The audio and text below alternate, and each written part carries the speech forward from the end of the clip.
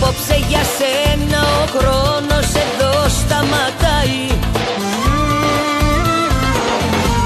Το είδα το έργο και τίποτα δεν με κρατάει. Απόψε θα σκίσω και την τελευταία σελίδα.